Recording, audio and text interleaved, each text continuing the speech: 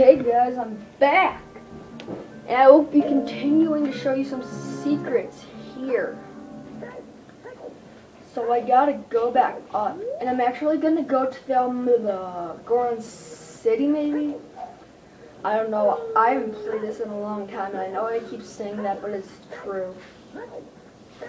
So anyway, we go this way into the city. I, I hope it's the city. Because I would have been pronouncing it wrong for saying the name there you are, I'm. Sword.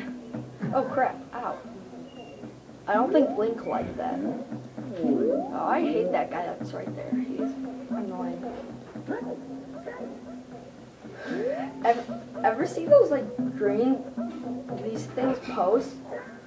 They probably have something to do with the, le the level you're on, but like what floor you're on the city, but I never really got their point. No, I passed it. Crap. Okay, what it, yes, it's on this floor. I hope it is. I don't think it is. I'm going for run away. A hug. I need. Oh, there it is. I hope this is. Yes, this is the magma room. Okay. You simply play the Song of Time.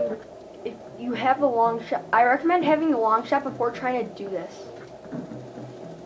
Hook to that, get over here. Um, what was over here? I think there used to be like a hole or something. Gosh, out the hammer. I've always called it the hammer. I don't know why. Oh, there it is. Yeah, and these guys. Ouch, that hurt. Yeah, they just sell you stuff every time you come down. And you, I forgot what they sell you exactly. Oh, crap. Ouch. Ouch, get to the stone link before you die. Yeah, I don't think Link liked that a lot. I tried it with the iron boots and the fire Goron tunic, whatever you want to call it. For some reason, it never works. I could be wrong, but I don't think so. Mm, okay, what else can I show you guys? Well, if you bomb there, there's that. There's also one lower in the mountain for Gold Skulltula. Um,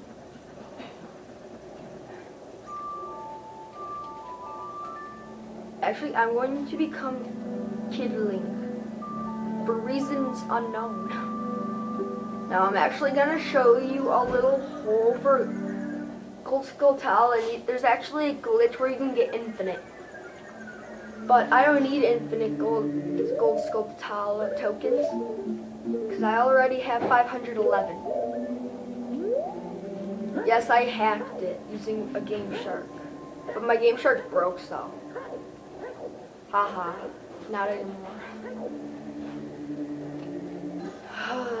I hate this. I don't get why he puts so in the Master Sword even if you're even if it's not equipped. I don't get it. It just seems kind of stupid. Okay. Well, anyway. What the heck? Zora mask? Oh, never mind. I was gonna say, what the heck is that doing in this game? then I remembered you can rent the mask.